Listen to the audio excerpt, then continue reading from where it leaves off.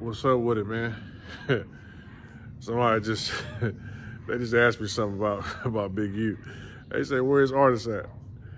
Shit, the last artist I know, he both of them got caught messing with trannies.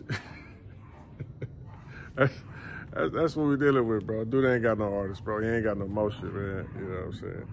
You just keep asking me about this dude. That dude is a no show, bro. On dude ain't even like that, bro. That dude ain't got nothing going on, man. But listen, my bad.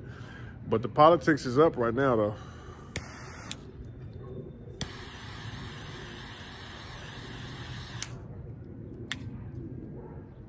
Politics up right now. Now it's um who harboring the rats, you know what I'm saying? Who hanging out with the rats, bro? Do it on paperwork. And it's like, why they mad at me? I just, they mad at me because I know how to read. they mad at me because I'm the messenger. Don't shoot the messenger.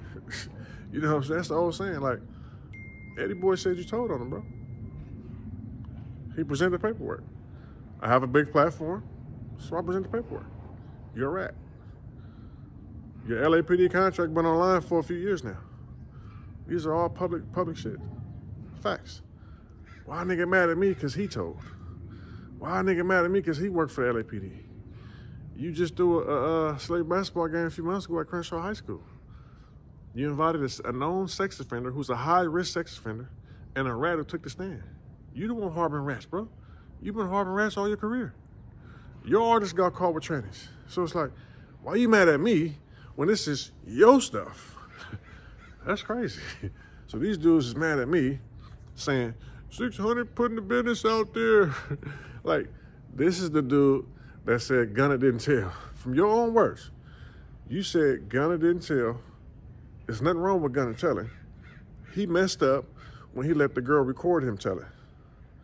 So you saying it's okay for him to tell, but he shouldn't have got caught telling?